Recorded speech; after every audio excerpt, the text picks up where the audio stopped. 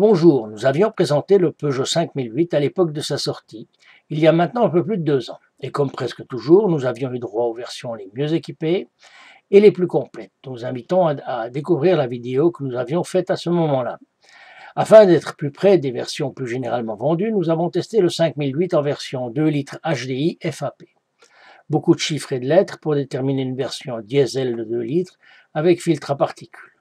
Cette version est équipée d'une boîte à vitesse mécanique à 6 rapports, développe 150 chevaux avec un couple de 340 Nm et consomme entre 5 et 6 litres au 100 en ne rejetant que 151 g de CO2 au kilomètre, selon le constructeur. Qu'est-ce que finalement que ce 5008 Ce n'est pas une limousine malgré sa longueur de 4,50 m et son confort intérieur, et ça n'est pas non plus un monospace malgré le volume impressionnant de 2506 litres de coffre qu'il offre tout siège rabattu. En fait, il appartient à la catégorie des monospaces compacts.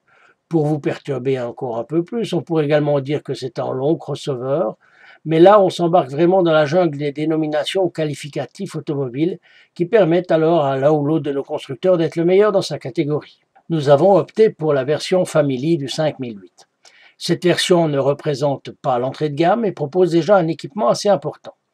Si on passe en revue la partie technique, on y trouvera pêle-mêle l'ABS, le SP, des airbags en pagaille et bien entendu des fixations isophiques pour les sièges d'enfants. Au crédit du confort, on mettra des sièges indépendants au deuxième rang, des lèvres vitres électriques, une climatisation bisone et un système audio complet. Pour la conduite, des rétroviseurs extérieurs électriques et des givrants, un volant comportant l'ensemble des commandes aussi bien de conduite comme le limitateur ou le régulateur de vitesse, ou plus simplement les commandes du système audio. Notre test. Nous avons retrouvé presque instantanément cette impression de conduite de limousine qui nous avait déjà séduit lors de sa découverte. En effet, que ce soit pour l'accès ou la position d'assise, la sensation ressentie à la place conducteur correspond tout à fait à celle que l'on peut avoir dans une voiture tout à fait normale. Conduite. Le diesel de 2 litres avec un couple de 340 Nm se montre discret, même à froid. Le couple, en fait la puissance, est bien accompagné par la boîte à 6 vitesses. Les rapports s'engagent facilement et propulsent le 5008 en théorie jusqu'à 195 km/h. La sensation de puissance conforte également celle de sécurité. La tenue de route est exemplaire. La bonne insonorisation rend l'ensemble plutôt douillet. Une gestion efficace de la climatisation bisone permettra à chaque passager de trouver l'espace climatique qui lui convient. Par-ci par-là, de petits rangements facilitent la vie, surtout pour des voyages plus longs. Cela ne gênerait d'ailleurs pas non plus qu'il y en ait un peu plus.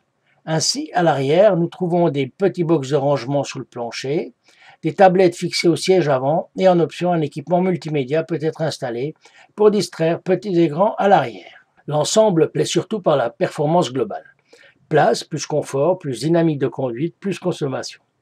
Mentionnons que le volume intérieur disponible permet également de petits déménagements sans problème.